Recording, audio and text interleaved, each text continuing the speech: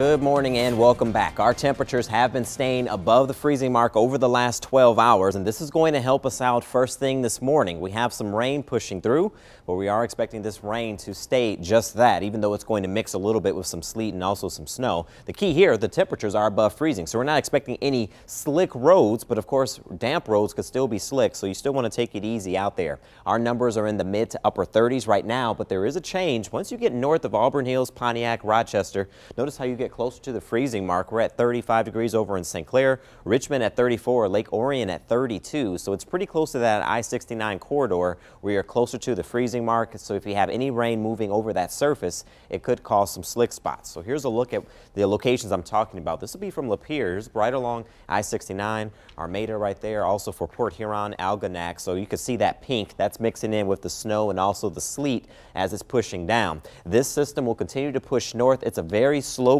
mover, so even though we're seeing most of the snow pushing north of the Metro Detroit area. We still have some rain and notice the pockets here. That's the drier air, which is also going to help us out for this morning. And hopefully it can clear our skies up a little bit into the afternoon. Futurecast is peaking is picking that up a little bit. There's the wintry mix that pushes north, and then eventually the skies clear up a little bit, and just a little bit of sunshine in April goes a long way. Watch how the temperatures respond. We're in the 30s now. You get a little bit of sun near Ann Arbor, Monroe, Westland. Temps bounce into the 40s. Even the 50s will be a possibility, and we'll need a little bit of sun to get there, and I think we will get it. So for today, going with the high of about 54, the damp start should give way to some clearing skies.